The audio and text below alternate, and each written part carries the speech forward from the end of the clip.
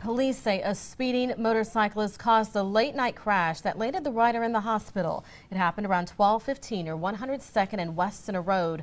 Police on scene tell us the motorcycle collided with a vehicle that was turning south from Center to 102nd. The rider was taken to the hospital in serious condition. So far, no word on if either will be cited.